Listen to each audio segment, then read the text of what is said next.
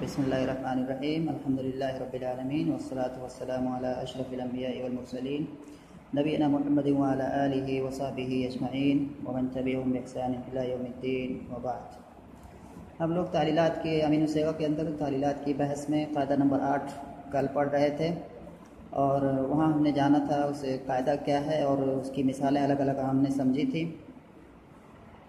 फिर से एक बार जल्दी से कि कायदा नंबर आठ ये है कि वाव और या अगर मुतहरक हो और उससे पहले वाला हर्फ क्या है, साकिन हो तो इस वाव और या की हरकत को उससे पहले वाले साकिन को दे देते हैं और फिर इस वाव और या में चंद तब्दीलियाँ होती हैं जो कल हमने समझा।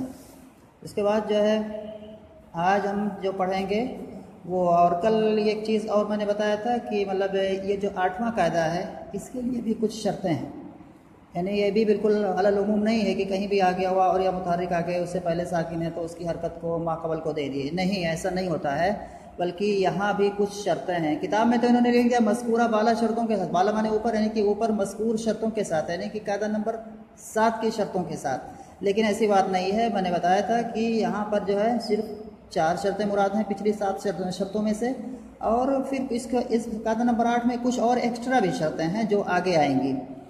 तो यहाँ पर जो है पिछली जो शर्तें हैं सात शर्तें हैं जो सातवें कायदा की उनमें से पहली शर्त यहाँ मुराद होगी उसके बाद दूसरी शर्त मुराद होगी उसके बाद चौथी शर्त मुराद होगी और छठी शर्त मुराद होगी।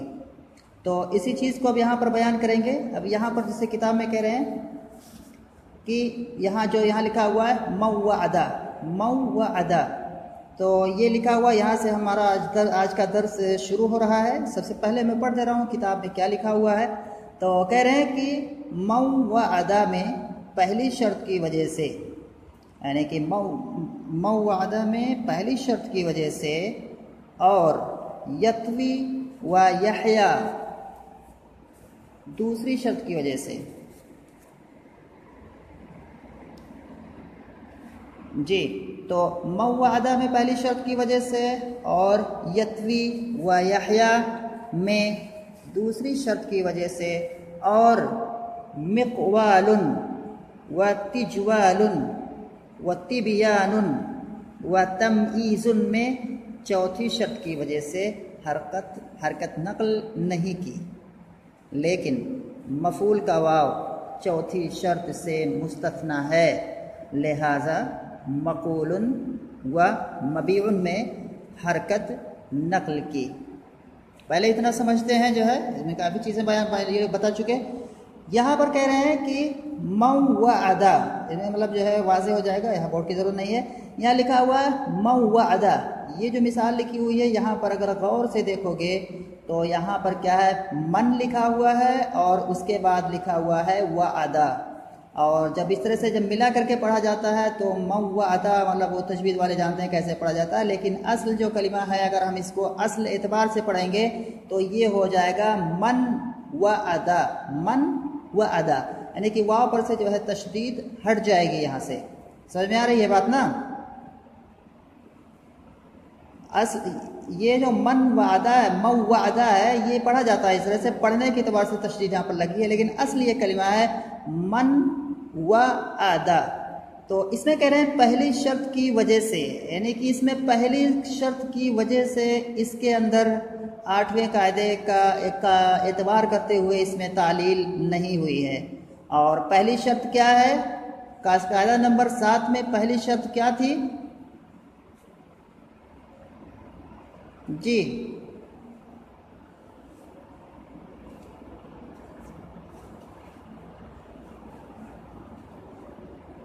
पहली शर्त उसमें क्या बताई गई थी? पहली शर्त क्या है? जी।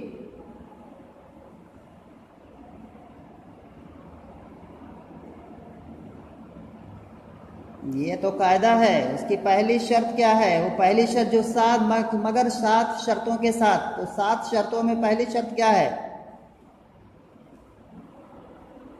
जी, फा कलमा में ना हो। यहाँ पर जो देख रहे हो, यहाँ पर क्या है? मन लिखा हुआ है और उसके बाद वादा लिखा हुआ है।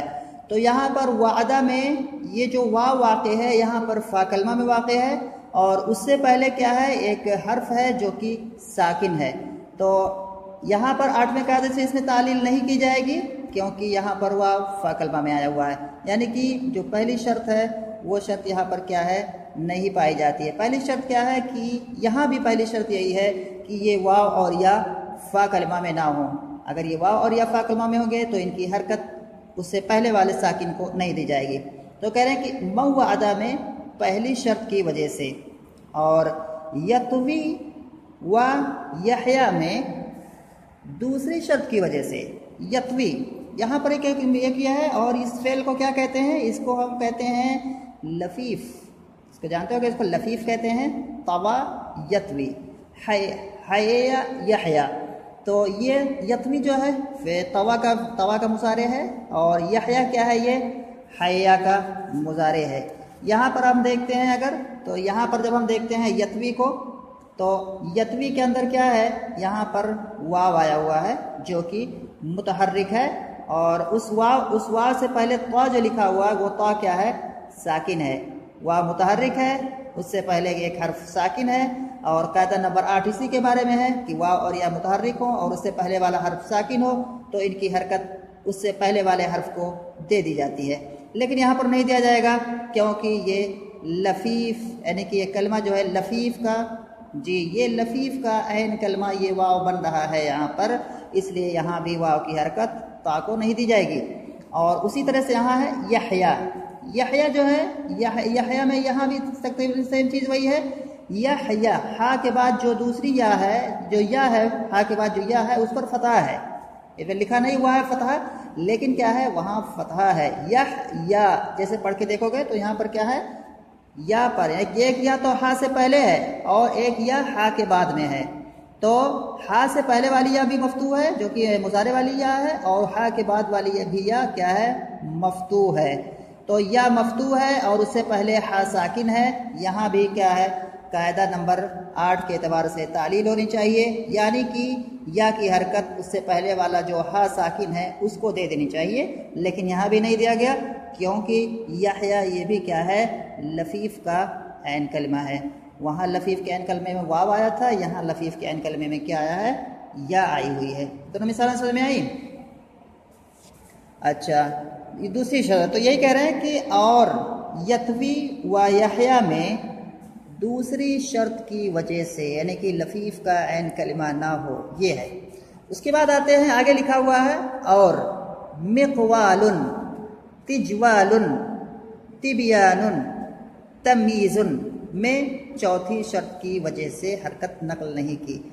चौथी शर्त क्या है कि जो कायदा नंबर सात के अंदर आया था, वहाँ पर चौथी शर्त ये थी कि ये वाव और या, यानी कि वाव और या को जो कायदा नंबर सात में है, कि वाव और या को अलिफ से कब बदलेंगे जब ये मद्दा जायदा से पहले ना वाक़ हों। अगर मद, अगर मद्दा जायदा से पहले वाक़ होंगे तो नहीं बदला जाएगा। हम यहाँ देखते ये ये चीज़ जो है, यहाँ कायदा नंबर आठ में भी मोतबर है, यहाँ भी वही चीज़ मानी जाएगी। तो यहाँ पर कह रहे हैं, और मिकवालन मिकवालन पहली मिसाल में हम देखते हैं तो ये अलिफ जो है, ये मद्दा ज़्यादा है। और मद्दा क्या होता है? मैंने बताया था कि वाव या अलिफ अगर इनसे पहले वाली हरकत इनके मुआफिक हो तो उनको मद्दा कहते हैं। अब फिर ये वाव या अलिफ अगर कलमे के असली हरूफ में हो तो वो मद्दा असलिया हो जाएँगे। और अगर कलमे के जायद हरूफ अगर वो बन रहे हों तो वो मद्दा ज़्यादा हो जाएँगे। ठीक है? इतनी बात तो पता होगी। और तो यहाँ पर क्या है? मिकवालन जो यहाँ पर लिखा हुआ है तो मिकवालन में हम देखते हैं का मिकवालन की असल क्या है? इसकी अगर हम असल निकालेंगे तो काफ, वाव, लाम है। कावला, ये असल है। तो गोया कि ये जो अलिफ है, ये कलमा का जो असल हरूफ है, उनमें इसका शुमार नहीं होता है। और ये अलिफ है, उससे पहले फतह भी है तो ये क्या हो गया? मद्दा हो गया। और कलमे के असल में भी नहीं है तो ये अलिफ जायद हो गया। इससे पहले वाव आया हुआ है और इस वाव से पहले क्या है, एक हर्फ साकिन है जो कि काफ है। तो वाव मुतहरिक है, उससे पहले काफ साकिन है, लेकिन फिर भी क्या है, इस वाव को, वाव की हरकत को, काफ को नहीं दिया जाएगा, क्योंकि ये वाव मद्दा जायदा से पहले है। ऐसे ही तिजवाल में सेम इसी तरह से है। जीम, वाव, लाम, इसकी असल है कलमे की। और अलिफ क्या है? ये जायद है और मद्दा भी है। इस वजह से इस अलिफ के, इसे, ये जो वाव है, वाव की हरकत जीम को नहीं दिया जाएगा, क्योंकि ये मद्दा जायदा से पहले है। यहाँ भी तिबियान इसमें देखेंगे, यहाँ भी ऐसे इस कलमे की असल है, बे ये नून, बे ये नून। ठीक है ना? बे ये नून इस कलमे की असल है। और यहाँ पर क्या है? मद्दा ज़ायदा आया हुआ है यानी कि यहाँ पर अलिफ है जो कि कलमे के जो असली हरूफ हैं उनमें इसका शुमार नहीं होता है। और इससे पहले इसकी हरकत इसके मुआफिक हरकत फतह की वो भी है तो ये मद्दा ज़ायदा हो गया। और इससे पहले क्या है? या आई हुई है तिब या नुन और उस या से पहले क्या है? बा साकिन है। ले, लेकिन आठवें नंबर कायदे से यहाँ पर तालील नहीं की जाएगी। या की हरकत बा को नहीं दी जाएगी क्योंकि ये या मद्दा ज़ायदा से पहले आई हुई है। ऐसे ही चौथी मिसाल है तम ईजुन तम ईजुन यहाँ हम देखते हैं, इसकी जो असल हरूफ हैं, ये है मीम, ये जे। और यहाँ पर जो है तम ईजुन ये जो पहली वाली या जो है नीचे, ये या असली है, और दूसरी वाली या क्या है, जायद है, तफ़ील उनके वज़न पर है। तो यहाँ भी क्या है, या मुतहरिक है माकबल सही माकबल साकिन है, लेकिन क्या है, इसके बाद एक मद्दा ज़्यादा आया हुआ है इसलिए यहाँ भी क्या है, इसकी हरकत को माकबल को नहीं दिया जाएगा। या की हरकत माकबल को नहीं दी जाएगी। तो ये हो गया। तो कह रहे हैं कि और मिकवाल व तिजवाल व तिबियान व तमीज़ुन में चौथी शर्त की वजह से हरकत नकल नहीं की।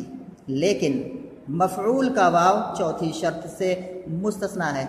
यानी कि इसमें कहने का मतलब ये है कि अगर मद्दा जायद अगर ये वाव और या मुतहरिक आ रहे हों, उनसे पहले साकिन हो और वो सेगा जो है, इसमें मफूल का सेगा हो तो वहाँ पर क्या है, आठवें कायदे से तालील कर दी जाएगी। ये जो चौथी शर्त है, उससे इसमें मफूल को अलग कर दिया गया यानी कि ये मुस्तना है। चौथी जो शर्त है, ये चौथी शर्त से इसमें मफूल का सेगा मुस्तना है, यानी कि इसमें मफूल के अंदर अगर इस तरह की आठवें शर्त की जो है, इस तरह की कोई, अगर इस तरह की बात आती है तो वहाँ पर क्या है? तालील कर दी जाएगी। तो कह रहे हैं कि ये, लेकिन मफूल का वाव, चौथी शर्त से मुस्तना है मफूल में वाव जो आता है, वो चौथी शर्त से क्या है? मुस्तना है। अब ये जो मकूल और मबीन है, इसको बोर्ड पे समझाना पड़ेगा, और अभी टाइम थोड़ा हो रहा है तो इसको फिर हम इन कल शुरू करते हैं, फिर लंबा हो जाएगा। यहाँ तक बात यहाँ तक बात समझ में आ गई है? जी वाज है, आसान है मतलब इन समझ में आ गई होगी बात, मुझे उम्मीद है समझ में आ गई होगी। और फिर जो है